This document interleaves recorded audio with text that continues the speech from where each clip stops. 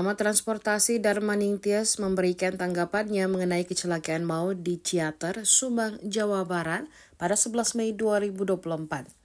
Tanggapan itu disampaikan melalui Zoom. Berdasarkan kacamata pengamat transportasi, panitia atau sekolah teledor dalam pengecekan surat-surat bus. Menurut Darman, sangat mungkin mereka mencari yang termurah sehingga tidak mempedulikan lagi soal aspek keselamatan penumpang. Darmaning Tias kembali mengingatkan masyarakat untuk selalu memprioritaskan keselamatan dalam bertransportasi.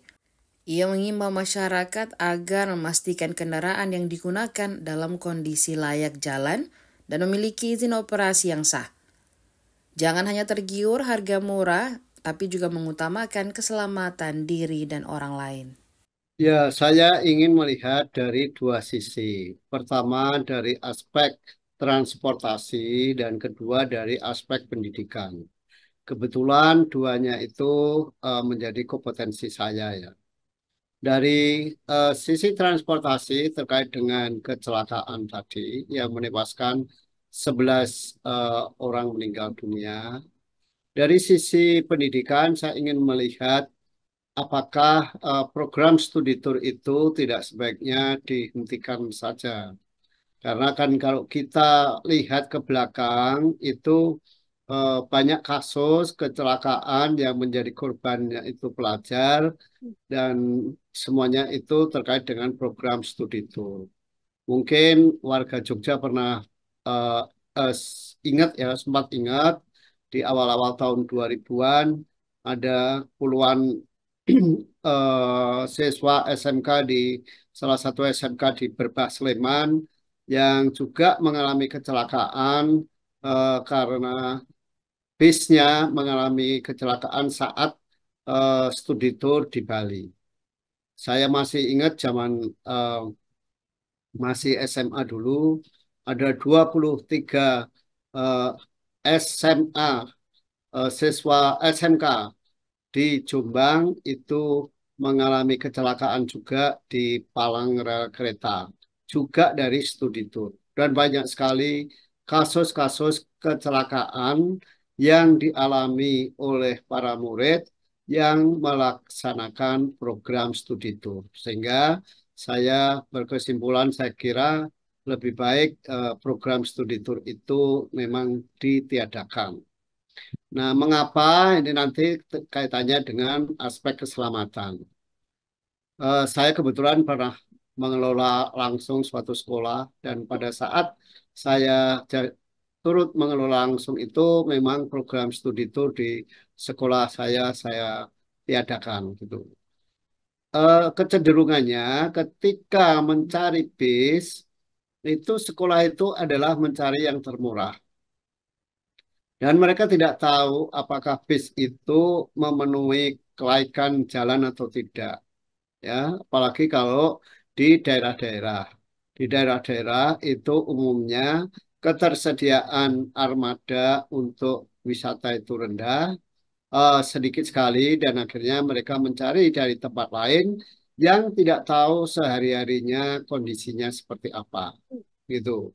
Nah, kalau kita uh, kembali kepada kasus di teater kemarin, itu kan dari penuturan Pak Dirjen uh, Perhubungan Darat, bahwa uh, bis itu ternyata tidak memiliki izin.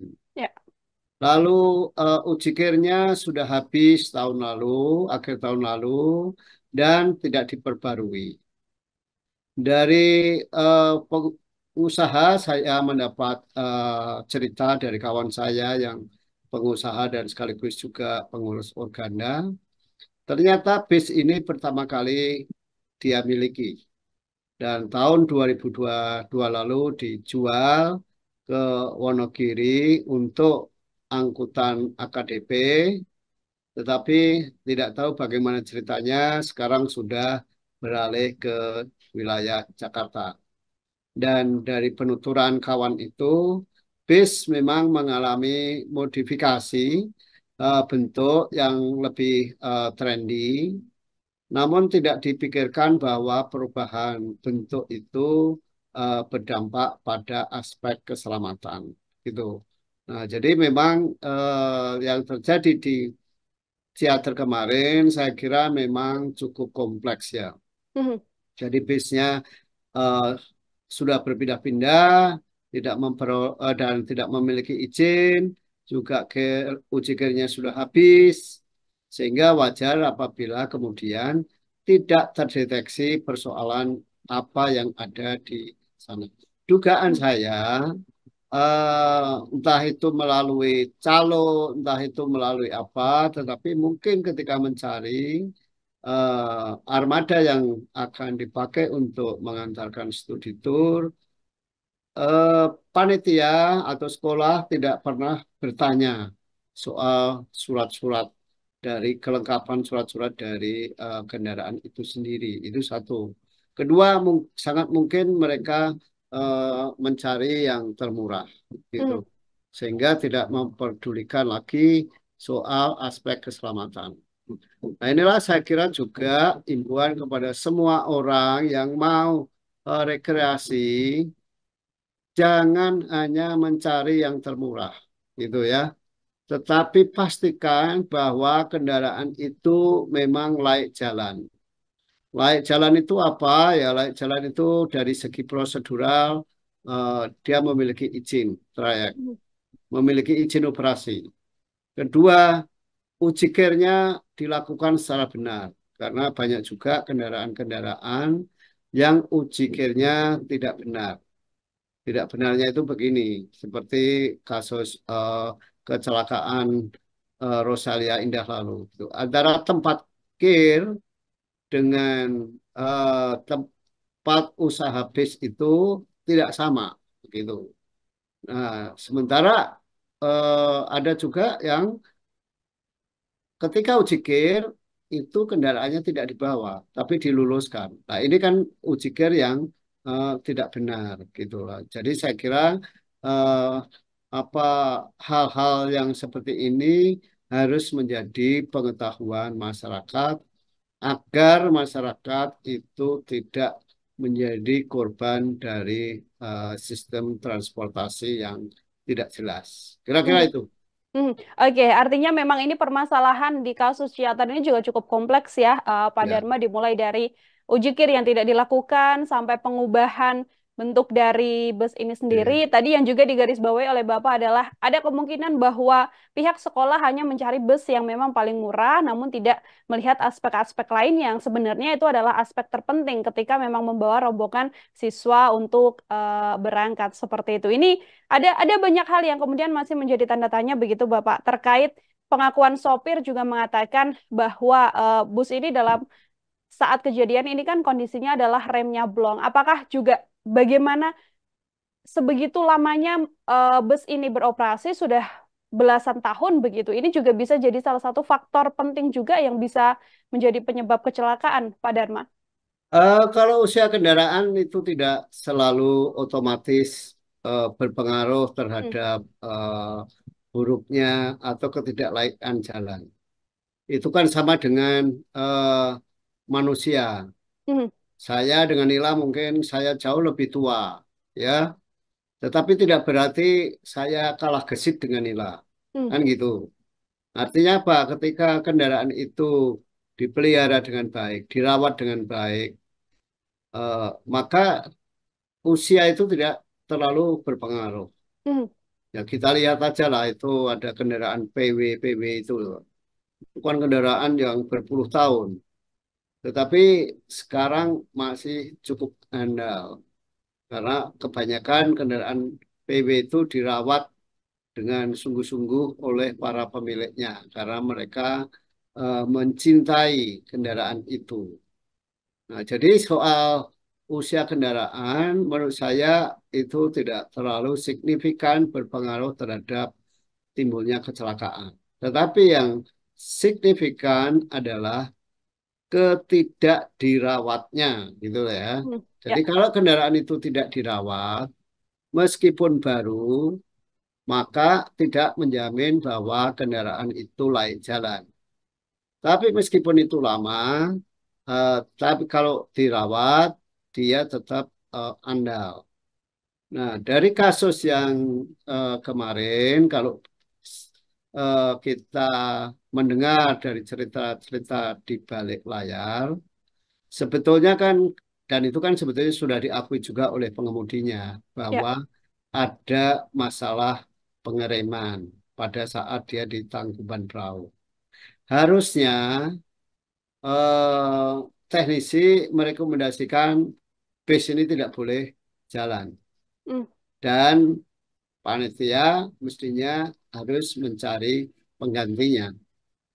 Tetapi eh, sekali lagi ini cerita-cerita di balik layarnya. Katanya eh, sebagian anak bilang terus saja gitu. Artinya eh, pengemudi mungkin melanjutkan eh, perjalanannya karena ya disemangati oleh sebagian murid gitu loh. Nah, pengemudi yang baik itu kan seperti pilot, ya. seperti masinis.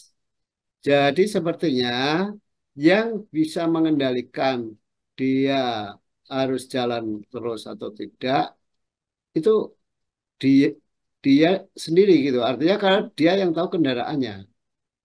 Gitu. Jadi pengemudi mestinya harus punya sikap ketika dia sudah mengetahui bahwa kendaraannya bermasalah, maka dia mestinya tidak mau melanjutkan perjalanan dan memilih mengganti uh, menunggu ganti kendaraan. Tapi ini tampaknya tidak terjadi pada kasus kemarin. Sudah tahu ada masalah, tetapi kendaraannya tetap melaju. Itu saya kira uh, kesalahan dari pengemudi. Nah, ya. itu.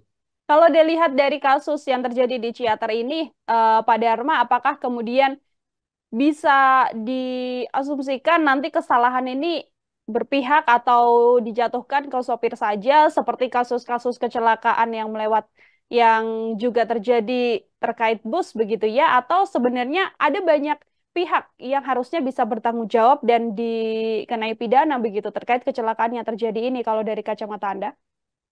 Saya kira semua harus dikenai uh, sanksi. Kalau menurut saya pengemudi justru tidak bersalah. Hmm. Ya, kenapa? Karena dia nggak di yang salah bukan dia kok. Artinya kecelakaan itu bukan karena dia salah menjalankan kendaraan, hmm? tetapi karena kendaraannya yang nggak uh, andal gitu. Sehingga siapa yang bertanggung jawab dan harus dikenai hukuman pertama kali adalah pemilik kendaraan. Oke. Okay. Karena dia kurang uh, memperhatikan Eh, kewajiban-kewajiban yang bisa menjamin keselamatan uh, kendaraannya. Itu ya. Yang kedua, teknisi. Teknisi uh, yang dia kan lebih paham kendaraan ini layak jalan atau tidak. Barulah beban ketiga ditimpakan kepada uh, pengemudi hmm. gitu. Dan keempat tentu uh, sekolah apabila dia uh, hanya mencari uh, apa mencari harga murah saja. Ya. Kelima, jangan lupa calonnya juga gitu ya. Calonnya itu kalau ada calonnya, calonnya dia mestinya yang lebih tahu dong. Sekolah kan biasanya tidak tahu link-link uh, uh, dengan op, apa operator ya, eh, dengan ya operator gitu.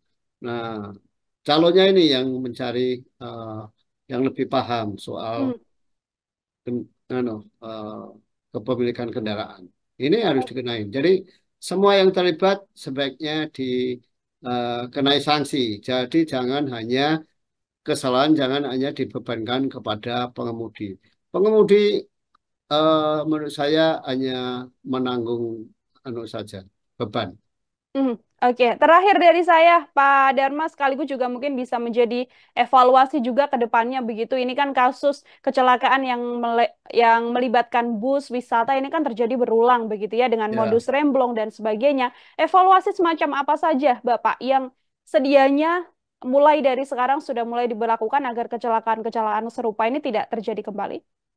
Ya, saya kira pertama, uh, anu, apa dinas perhubungan karena yang punya wilayah itu kan dinas perhubungan ya hmm. harus mendata eh, kendaraan-kendaraan yang dipakai untuk angkutan umum di wilayahnya. Ya. Itu ya. Kenapa? Harus dilihat kalau sudah ketahuan jumlahnya harus dilihat eh, apakah kendaraan-kendaraan tersebut berizin atau tidak. Lalu di kalau itu menyangkut bis akap dan bis pariwisata itu kan domainnya Kementerian Perhubungan ya. Nah, Dinas Perhubungan bisa bekerja sama dengan BPTD, Badan Pengelola Transportasi Darat, ya. Uh, itu adalah uh, perwakilan apa petugas-petugas perhubungan perwakilan dari Kementerian Perhubungan yang ada di daerah. Mereka bisa berkoordinasi mana-mana yang uh, memenuhi persyaratan sebagai operator dan tidak. Yang sudah ada itu eh, pemerintah itu punya Kementerian Perhubungan itu punya aplikasi kalau nggak salah Spionam ya. Nah, di Spionam itu ada eh, nama-nama maupun nomor-nomor eh, kendaraan yang sudah memiliki izin dan ter ter apa ya termonitor lah oleh Kementerian Perhubungan. Nah, kendaraan-kendaraan yang tidak memenuhi uh, atau belum memiliki izin dan tidak termonitor di aplikasi Spionam sebaiknya tidak dipilih sebagai uh, angkutan baik itu angkutan wisata maupun angkutan misal sewa gitu ya. Mm. Pilihlah uh, kendaraan-kendaraan yang memang sudah uh, legal. Gitu itu saran saya. Sehingga kalau ada apa-apa itu uh, jelas uh, siapa yang harus disalahkan. Karena hmm. sebetulnya ya sebetulnya saya termasuk mendorong uh, pihak jasara harja untuk tidak membayarkan uh, santunan kepada kendaraan-kendaraan yang tidak legal gitu loh. Loh, Kenapa gitu? Lah ya dong, masa saya bayar premi, Anda tidak bayar premi ketika ada kecelakaan, sama-sama dapat santunan. Kalau gitu mending saya nggak bayar kan? Gitu. Nah, hmm. jadi itu juga masyarakat juga harus diberi harus diedukasi supaya dia tahu apa sih pentingnya uh, pentingnya menggunakan angkutan umum yang legal itu, bukan yang tidak legal. Kira-kira demikian. Hmm, oke, okay, artinya ini memang tidak hanya dari pihak yang punya jasa untuk melakukan transportasi umum begitu ya, tapi juga yeah. warga atau mungkin seluruh masyarakat apabila menggunakan transportasi umum atau transportasi wisata ini memang harus dipastikan menggunakan yang legal, yang uji kelayakannya juga harus terpenuhi setiap tahunnya seperti itu. Pak Dharma, terima kasih banyak untuk kesempatannya hari ini berbincang bersama dengan saya. Download Tribun X sekarang. Menghadirkan lokal menjadi Indonesia.